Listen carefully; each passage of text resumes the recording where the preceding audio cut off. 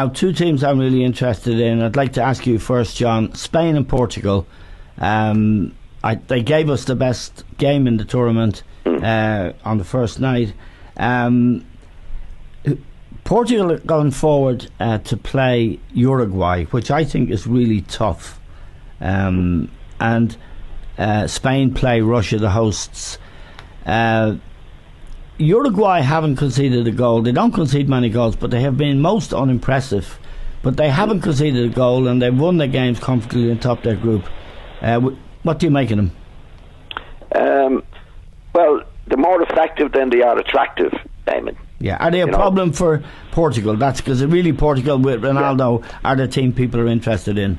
Well, I think Portugal have been good, Eamon. Um, I think they're a better, t- better. They're better than I thought they would be, even with the Ronaldo element to Yeah. it. I mean, obviously we know what he can do, but I think the team all round have played much better than I expected them to do. Yeah. So I wouldn't. I wouldn't. Well, I don't think anybody's writing them off, but I think they've got a better chance than I expected them to have. Uruguay are workmanlike. Uh, don't give much away. They're a tough team. Uh, I find that a very, very difficult one to call, to be quite honest. To be quite Yeah. honest. I think with, with Ronaldo in the team, I'd slightly go with Portugal. Okay, Didi, we like a bet, you and I, um, and I'm going to back the draw in that match. because I think if you look at Portugal in the Europe where they are, we must remember the European champions.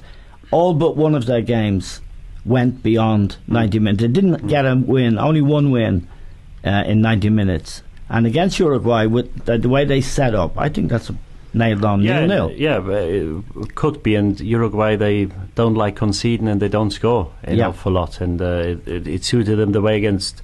They played against Russia with a sending off, uh, and they, they won it convincingly. But uh, I, I I fancy Uruguay. I've got to say, uh, I'm not sure Mm. whether it'll be 90 minutes. Um, but if John says Portugal, you go for the draw. Yeah. I go for We got a winner. God in spoil. Yes, one is a winner. Yeah. Okay.